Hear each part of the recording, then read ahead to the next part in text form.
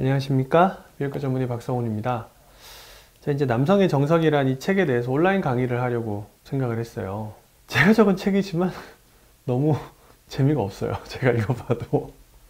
제가 이제 이 책이 나온 지가 한 1년 넘었는데 야 이래가지고 이거 책을 사신 분들이 잘 이해를 할 수 있을까?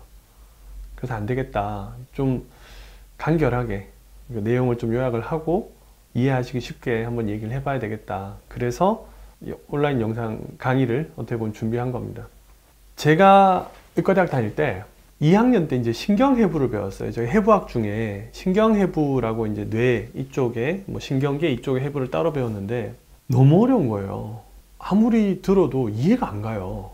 나중에 알고 보니까 저희 원래 신경해부를 전공하시는 선생님이 잠시 한 학기 동안 이제 어디 뭐 파견을 가셨나 그런 거예요. 그래서 뇌신경 해부를 전공하지 않은 분이 오셔서 강의를 한 거였었어요. 그러니까 어려울 수밖에. 제가 나중에 그 지금 하고 있는 팽창 임플란트 수술을 배우러 다녔잖아요. 근데 제가 그때 소위 말하는 이 분야에 대해서 아 정말 유명하고 잘한다 뭐 대가다라고 하는 사람들을 찾아가서 배워본 결과 그때 알게 된 게 뭐냐면 뭔가 되게 어렵게 왜 그 분야에 대해서 막 얘기하는 사람들 있잖아요. 아 저 사람 잘 모르는구나. 아직까지 잘 이해를 못했구나. 그러니까 자기가 잘 알고 있다면은 그 부분에 대해서 자기가 가진 언어로 정확하게 표현해낼 수 있어야 돼요. 그게 진짜 제대로 아는 거예요. 그걸 나중에 제가 알게 된 거예요. 언젠가 제가 아 이거 수술이라는 게 가르쳐 줄 때 자기가 한 번 더 배운다. 제가 그런 얘기를 한 적이 있는데 듣는 사람이 아 이게 뭐 이거구나라고 딱 쉽게 알 수 있는 게 그 분야에 대해서 정말 전문가라고 할 수 있는 사람이겠구나. 이제 그걸 제가 알게 된 거였죠. 사실 발기부전에서 강의를 한 적이 어, 그렇게 많지는 않거든요. 의학 전문가가 아닌 그 의사들이나 뭐 이쪽 분야의 사람들이 아닌 일반 대중들을 상대로 발기부전에서 제가 이렇게 강의를 해본 적은 없었어요.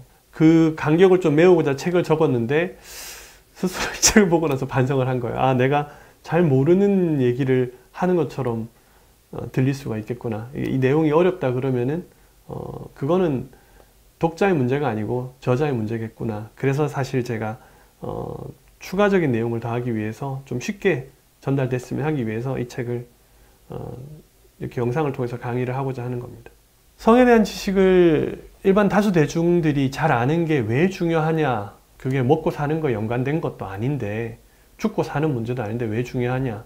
좀 맞는 말이라고 생각해요. 죽고 사는 문제 아니고 먹고 사는 거랑 아무 상관이 없을 수도 있어요.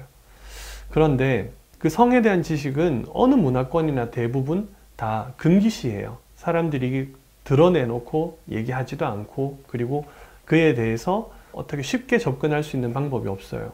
그런데 관심은 있는데 얻을 데가 없잖아요. 그럼 사람들이 어떻게 되냐? 음성적인 방향으로 가요.